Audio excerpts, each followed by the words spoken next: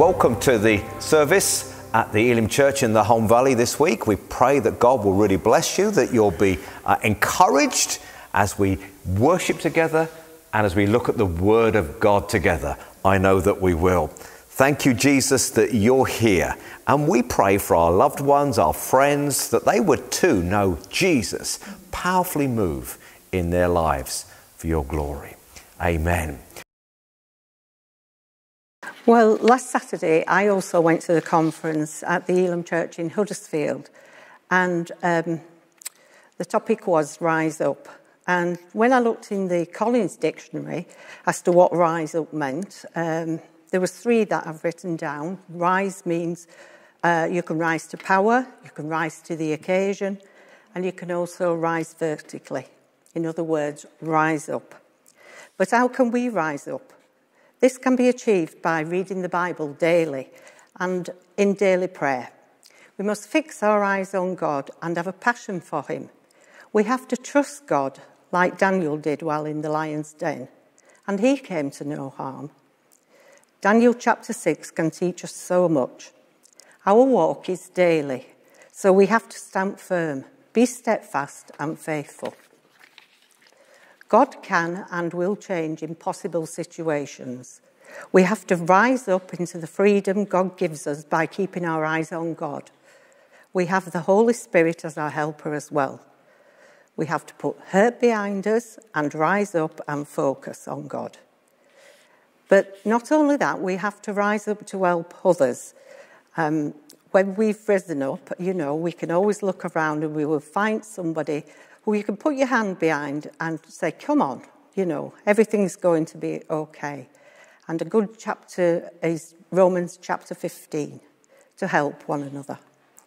And in finishing, I would just like to say, So awake, remember who God is, clothe yourself with his strength, remember you belong to God, rise up and free yourself in Christ, because then you are free indeed.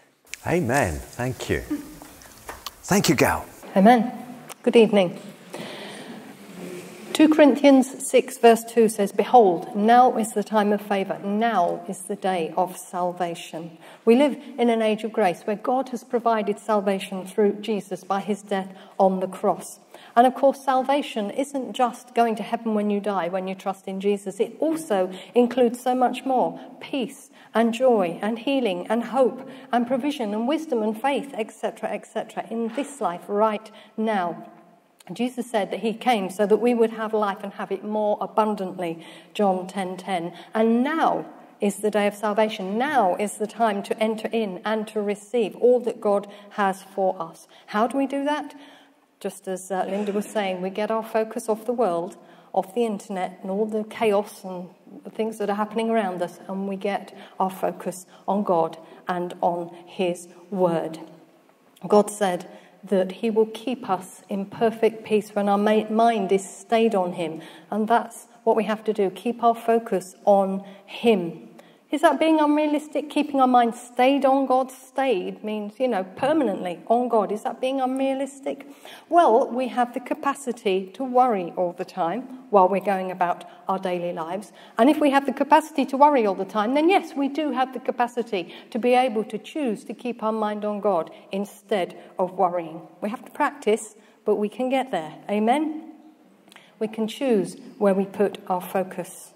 And if we keep drawing it back to God, just as, Jesus, uh, just as it says um, in, in Corinthians, 2 Corinthians 10.5, take every thought captive and make it obedient to Christ. We will receive of that salvation in this life, not just in the life hereafter when we get to heaven. Hallelujah. Come, now is the time to worship. Now is the day of salvation. Let's focus on God and receive all He has for us now. Hallelujah. Amen.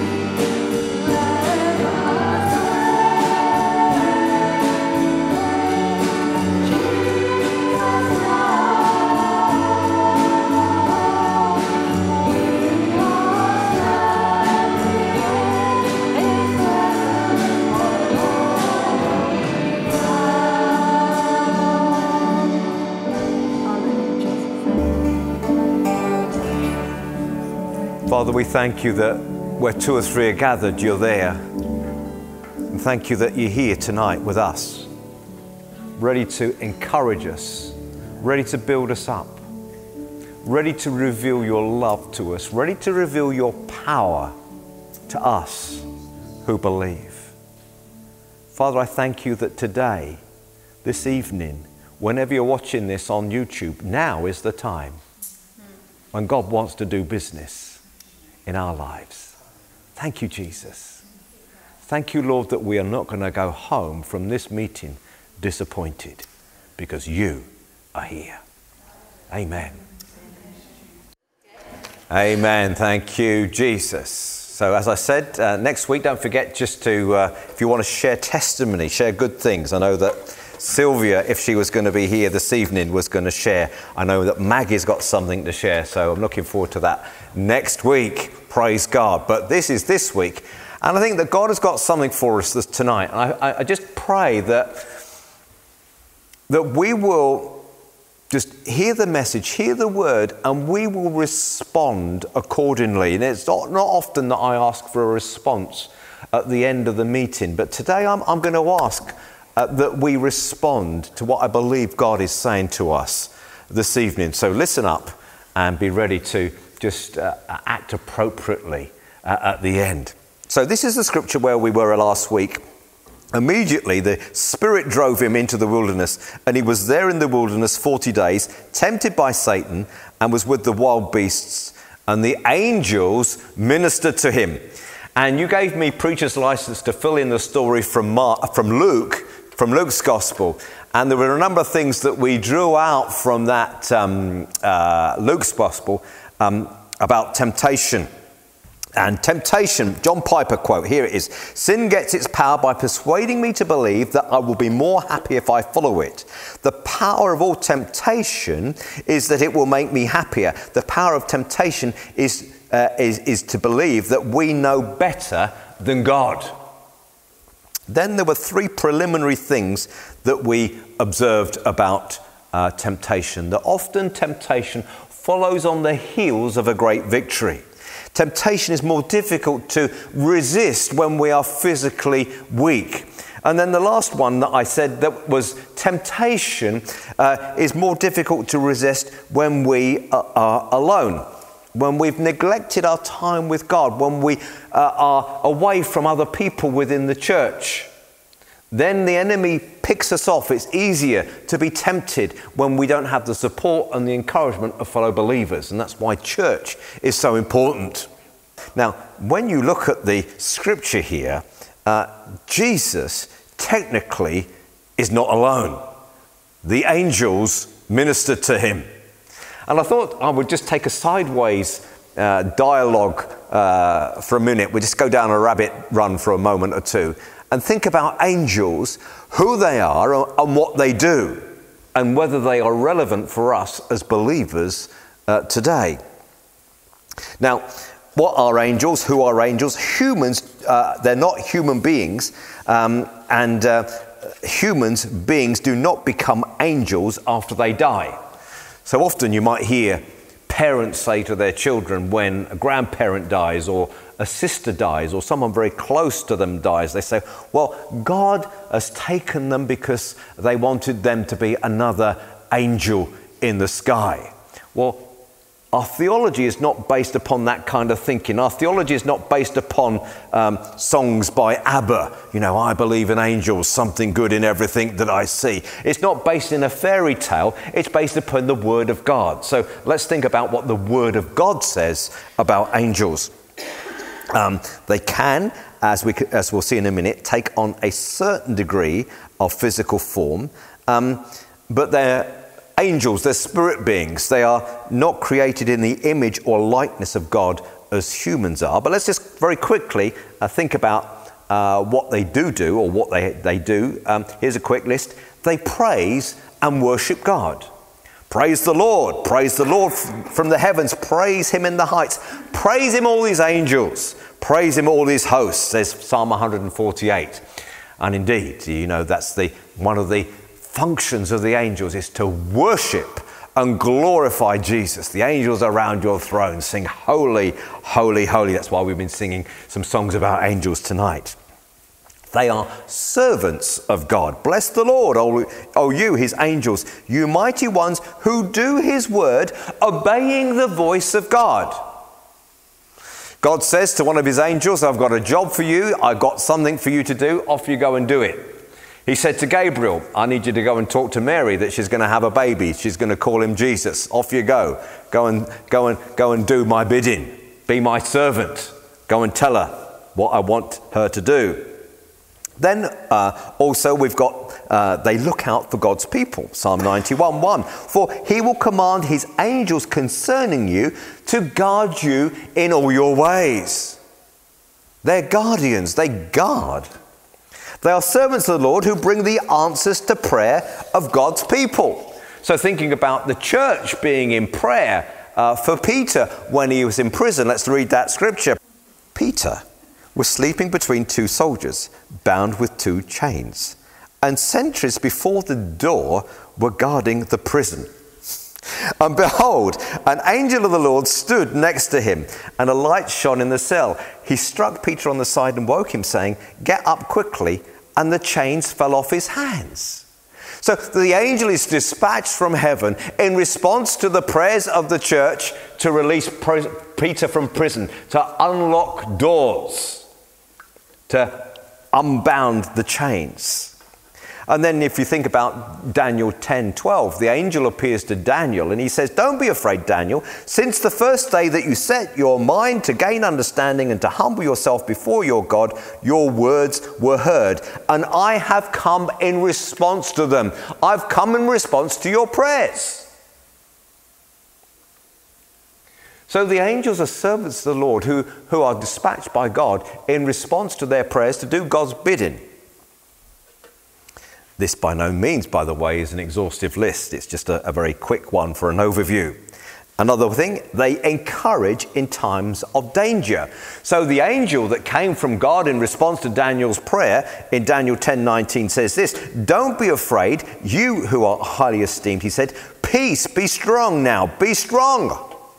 An encouragement to be strong. And then uh, another instance where an angel appeared in the New Testament to Paul when he was on the, uh, on the, um, on the ship that was in a storm. Um, the angel appeared, says, Don't fear, don't worry, don't panic. God will keep you safe. For there stood before me this night an angel of the, of, of the God to whom I belong and whom I'm served, saying, Do not be afraid. Paul, you must be brought before Caesar, and indeed God has granted you all those who sail with you. And then there's another instance in the New Testament where an angel appears to uh, Jesus, where it's recorded in uh, the garden, in, in the Garden of Gethsemane, Luke 22 um, Father, if you're willing, take this cup from me, yet not my will, but yours be done. It was that great challenge that Jesus was going to just before the crucifixion. And this is what it says An angel from heaven appeared to him and strength, strengthened him. Heaven's help came with heaven's strength to enable Jesus to be strong enough to face the cross. Now, back to Mark in the scripture that we're looking at here. And the angels ministered to Jesus when he was being tempted. The Greek word is the same word that is used to describe the function of deacons in the church. They are servants.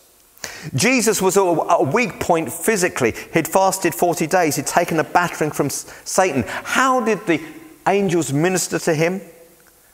They supernaturally sustained him physically, they sustained him emotionally. They gave him encouragement. They brought him encouragement. They reminded him of, of, the truth of God's word. They reminded him of God's purposes for his life. They reminded, reminded him that the devil was a loser and that God was the victor. Now, I'm just guessing these things, the kind of things that the the angels would have said to him. But if I was wanting to encourage somebody, if I was wanting to, minister to somebody, these are the kind of things that I would say. They weren't just hovering around making a draft. They were encouraging him, strengthening him, supporting him, serving him, enabling him to accomplish that which God wanted to to accomplish. Now, the writer to the Hebrews says of angels, Are they not all ministering spirits sent forth to minister for those who will inherit salvation? Now, here's a question for us because we've seen the angels ministering to Jesus, we've seen the angels ministering to Paul, we've seen the angel ministering to uh, Daniel. We could mention other times when angels appeared, such as when angels appeared to, to Mary. Are angels ministering to us today? Well, Hebrews seems to indicate the answer is yes, and I think the answer is yes. And um, the answer has to be yes because the scripture says that he sends his angels to guard us from accidents. Here it is, Psalm 91 again. In their hands they shall bear you up, lest you dash your foot against a stone. Well, I've not seen any angels come and pick me up when I've fallen over. Well, maybe not. Maybe you've just not realized it.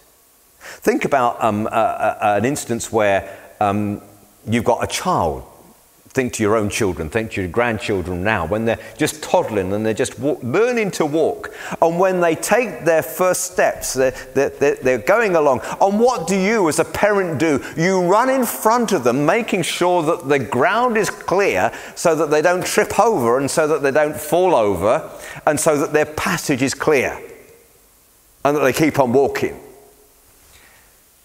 The child who is walking is oblivious to the fact that you've gone ahead of them. They're just enjoying walking. And I wonder how many times we are just oblivious to the fact that angels are around us, guarding us and supporting us. Uh, Caroline uh, mentioned on um, uh, Thursday night, when we just mentioned this in passing, that she was knocked over by a bus. And uh, an angel, uh, somebody, a man came to her and put her into the recovery position before the emergency services arrived. And Caroline will tell you more about this herself afterwards, but essentially, once the ambulance services arrived, this chap disappeared, and Caroline was asking, Well, who was that chap who helped me? And, and nobody knew who he was or where he'd gone. And Caroline thinks, Well, it was an angel that God sent to help me at my time of need, guarding me, protecting me.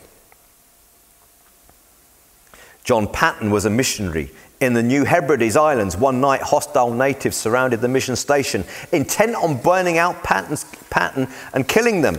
Paton and his wife prayed during the terror filled night that God would deliver them. When daylight came, they were amazed to see that their attackers had left.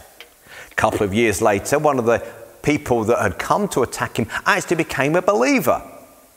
And he said to him, You remember a couple of years ago you came with all your tribe and you were about to kill us all?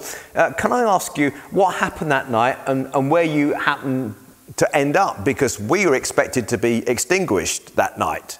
We didn't expect to be alive. We thought you were going to come and overcome us.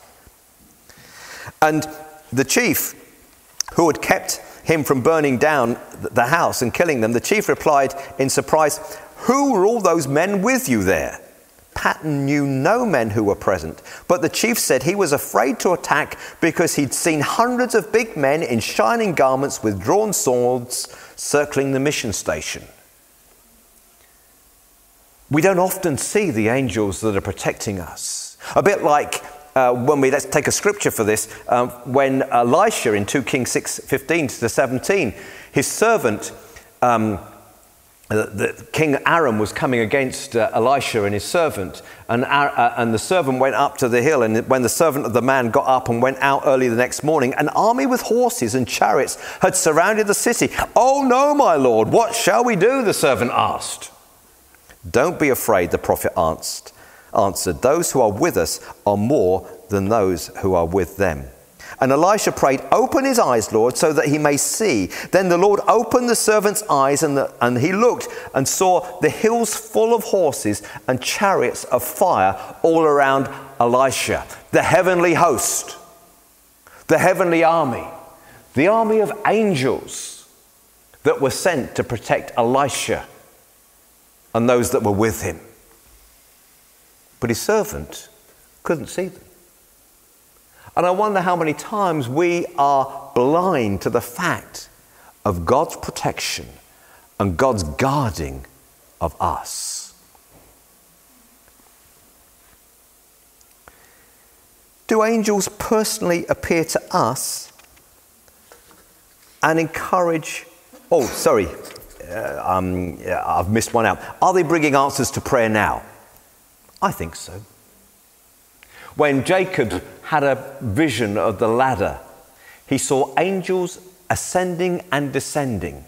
They were going up and they were going down. They were bringing answers to prayer. Once they delivered the answers to prayer, they were going back to heaven. And I wonder whether the angels are coming down and going ahead of us and unlocking the doors that are locked in front of us. They're clearing the way for, so that we can do God's purposes in our lives for His glory.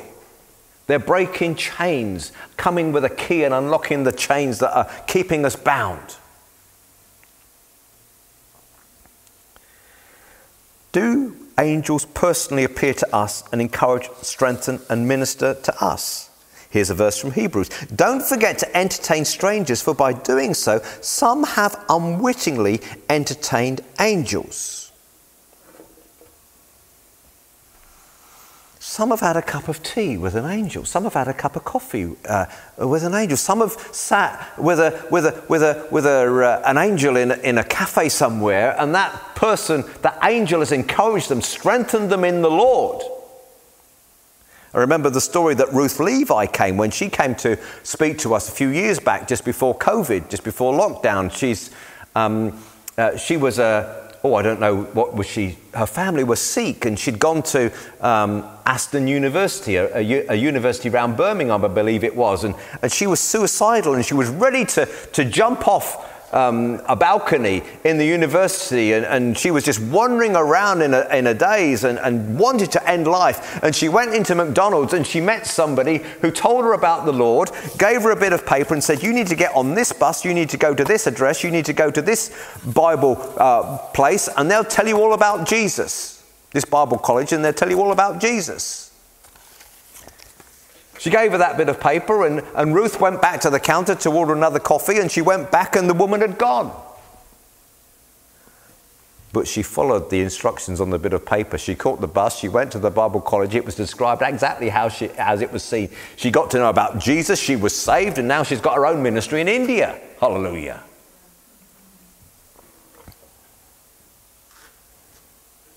Now, a word of caution. Don't get obsessed with angels. Get obsessed with Jesus. If the postman brought you a check for a thousand pounds, you wouldn't thank the postman, you would thank the person who sent it. Likewise, we don't thank the angels, we don't pay attention to the angels for the blessing. We thank Jesus, we thank God who dispatched the angel with the blessing. Um, I fell down and worshipped at the feet of the angel who had been showing them to me. This is John in Revelation.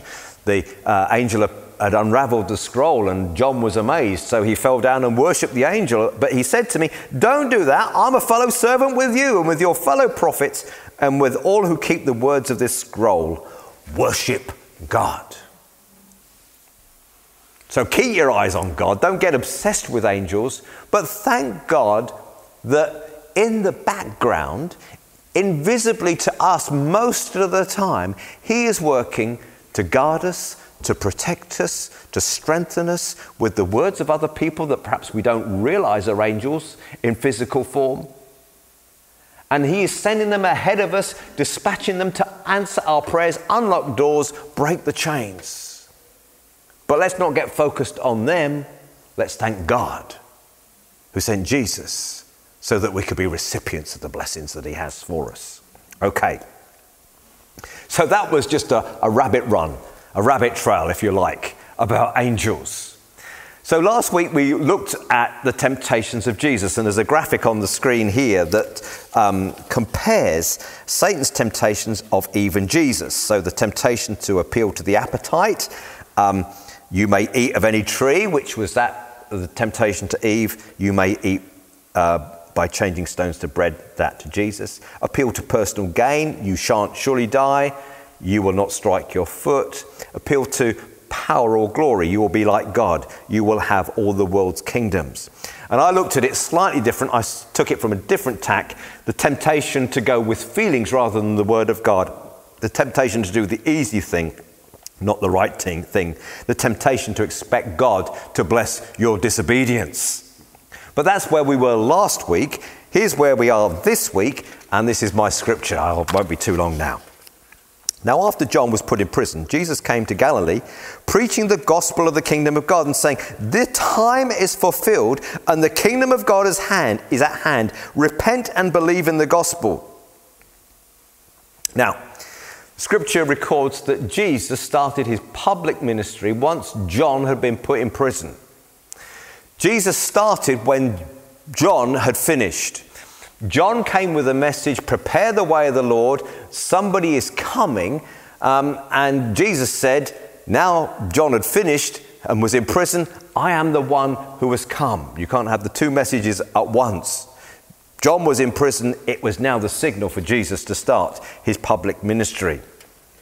Now, the word preaching is an interesting one. It means to proclaim, it means to herald. It's not just a cozy talk, it's not just a message, but a message that needs to be heeded.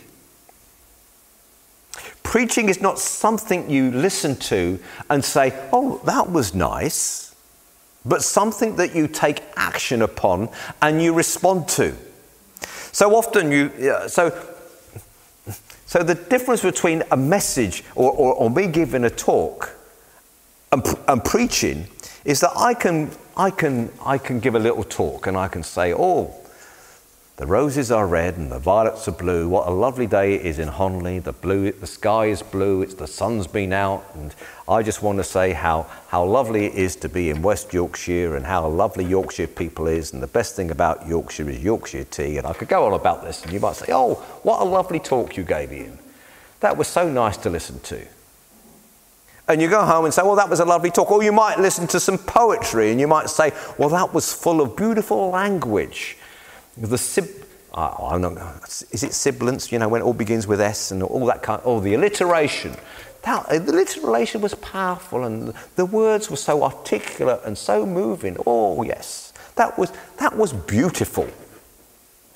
But when you listen to somebody preaching, you don't go, and, go home and say, well, that was very articulate. That was very funny. That was very entertaining like you might say after a after dinner speech. You listen to the word and you take heed to it and you take action upon it.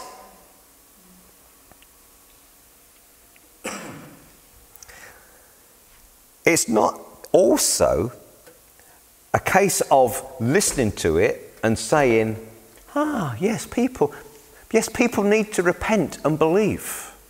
The people need to turn away from their sin and believe in Jesus. I know lots of people that need to do that.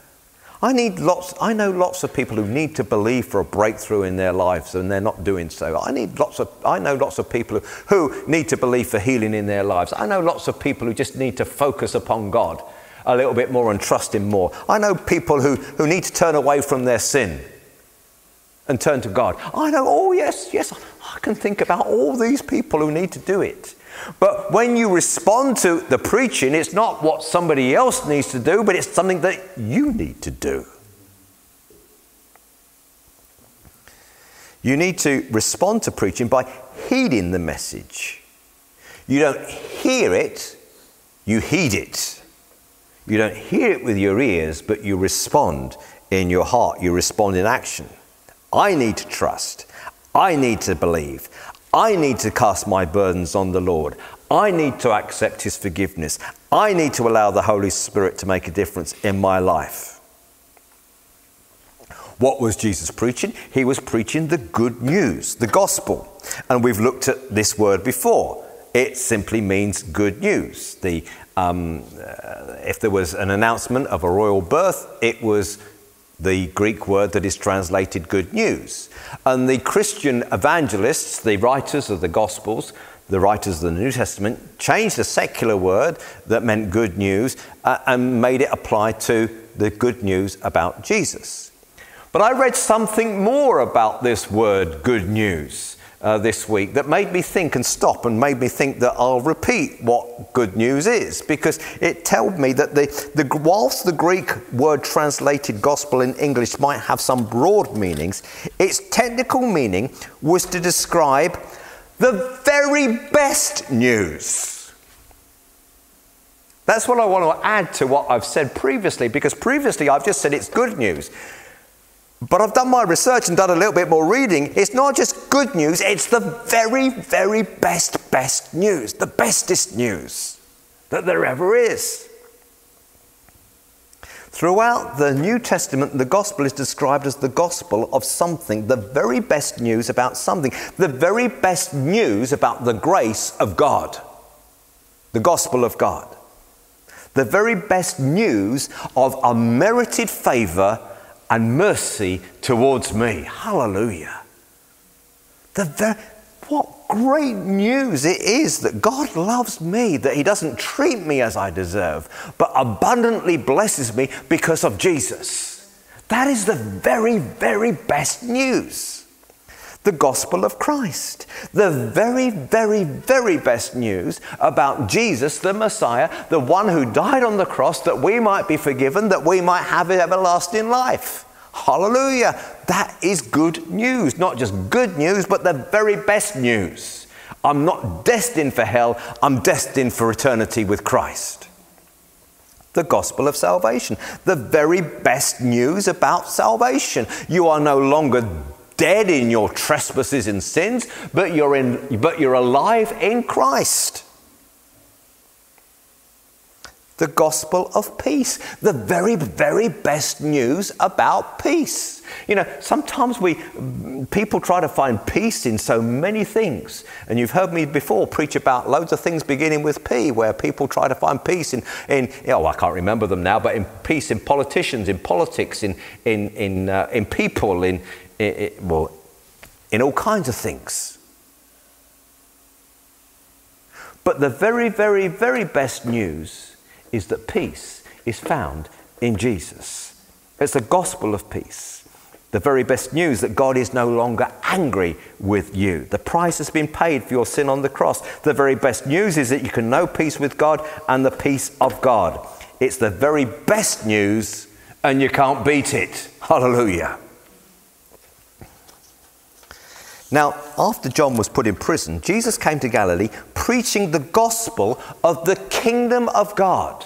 The very best news about the kingdom of God. Let's say a little bit about the kingdom. A kingdom is anywhere where the king rules. We pray the disciples' prayer Your kingdom come, your will be done on earth as it is in heaven. The kingdom is where God rules, where God's will is done. And we are praying that God's rule and authority will all have first place in people's lives. And the very best news about the kingdom of God is that Satan, that sin, has no longer dominion. They no longer have authority. The kingdom of God, with its peace, its joy, and blessing, is now here. It's replacing the kingdom of the world of misery, fear, sin, death, and darkness. The kingdom of God is here. God is here. Everything's all right. Blessing, joy, forgiveness, salvation, peace. And Jesus came saying, The time is fulfilled and the kingdom of God is at hand. Repent and believe in the gospel. Now, I just looked at the clock and noticed my time's gone, so I'll try to wrap this up very quickly. The time is fulfilled. Repent and believe in the gospel. The time is at hand. Now, when the word here, time, is not chronological time, but opportune time, the ripe time. So, as an example, when you pick the apples in your garden, when we've got two apple trees in our garden, and one of the apple trees um, uh, is about a month earlier than the others. And I, I might have said to Gail, I said, Right, when are you going to pick these apples? And she might have said, Well, uh, could have said, I am going to be, I'm going to pick these apples on the 1st of September 2022 at 12 noon exactly. That would have been a chronological time. But she says, I'm going to pick these apples when they're nice and ripe, when they're nice and red, when I've bitten one and it's nice and sweet. I'm going to pick them at the right time, the ripe time, the opportune time. This is the word that be, is being used here by Jesus. Now is the time. Now is the time of opportunity. Now is the right moment to respond. Now is the right moment to repent. Now is the right moment to believe. It's the right moment, the, the, the kairos moment. The Greek word is kairos. Again, another illustration might be when, when, a, when a man is proposing to his wife uh, a proposal of marriage. He chooses the right time. He's not in the queue at, at, um, at McDonald's, queuing up for a burger. And they're all shouting behind the counter, number 24, number 25. And he says, Oh, by the way, will you marry me? No, he waits for a romantic time, a romantic spot. Some people go to Paris, some people go up the Eiffel Tower, some people go to London, go on the London Eye, like my nephew did, knelt down on the London Eye, waited for the opportune time for when the, when the car was right at the top, got down on his knees and took the ring out of his pocket and proposed to his wife uh, who's just had a baby yesterday, I think it was. The opportune time, the right time. And Jesus is saying, the time is right. The time is right. I almost wanted to say that word um, that Leslie Crowther used to say, the time is right, come on down. But it's the price is right, come on down. But, but, but, but the time is right. And there is a come on down in the sense that we need to respond to the very best news. It's not just hearing, but responding. Now is the time to repent and believe. It's not somebody else that needs to repent and believe, it's me that needs to repent and believe. It's not tomorrow that I need to think about it. Jesus says, now is the time. Now is the moment. Now is the right time. I am here. Now, I'll conclude there, but we're going to sing um, one last song. And it says, I believe in Jesus. I believe that you are the Son of God. And I believe that you are here now. Now. Because now is the ripe time. And I believe that you're here now, standing in our midst, here with the grace to heal and with the power to forgive. I might have got the words quite a little bit wrong, but here with the power to heal now and the grace to forgive. I got that, that's the way, right? And I want perhaps just to, as we sing this song, invite you to say, invite you to say, invite you to say, um, yeah, I'm going to believe now. But it might not just be I'm believing Jesus as my Savior. I'm turning away from my sin and accepting what He did on the cross for me that I might be forgiven and have eternal life. But I'm believing now by laying my burdens down because I'm sick with worry. But now is the time to lay them before the Lord. Now is the time to bring my worries to Him. I'm not going to go out the door worried, sick, in the same way that I came in. Now is the time to lay them before the Lord. Now is the time to receive His healing. Now is the time to believe for what you've been believing for. Now is the time. Don't leave it another day. Now is the time. So I want to encourage you as we sing this last song, perhaps if you want to make a personal response and say, Yes, I'm believing that God will heal me. I'm believing that God will, will, will take my burdens. I believe that God will forgive me. I believe that God is going to move in this problem situation. I believe. And I believe now. I want to encourage you just to show God, demonstrate that physically, if you like, by getting out of your chair and just standing at the front and singing along the song with me.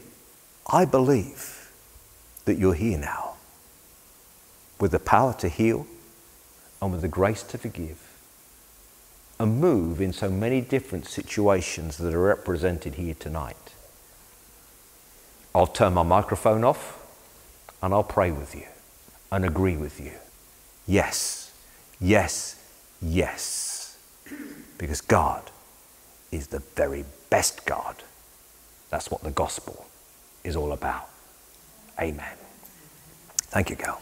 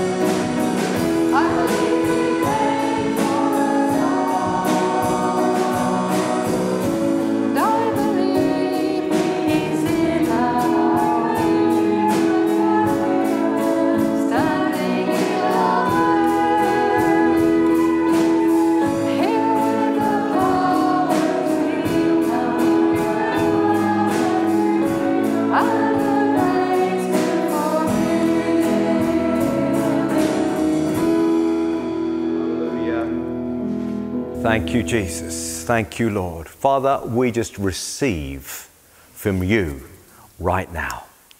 Thank you, Lord, that the gospel is the very, very best news. Thank you that Jesus is the best and that we are blessed by the best. Thank you for the healing that is available to us. Thank you, Lord, that you've taken our burdens, you've thrown them in the sea, and that we can know your peace and your love and joy. I pray and I agree with those that are responding now at home, watching on YouTube. Father, I pray that indeed your presence will be very powerful to them as they respond to your goodness in their lives. Thank you, Jesus. Amen. Well, I'm going to pray with people here right now. Just before I go, I just remind you that if you want to call us this week, it's 01484 323 978. If you want to call me or text me on my mobile, it's 0747 277 3243. You can email me at info at hvelim.org.uk. No home groups next week, it's the week after, uh, available on the screen here right now. So until we see you next week, don't forget that we love you, God loves you, and that we are blessed, abundantly blessed by the best. Thank you for coming.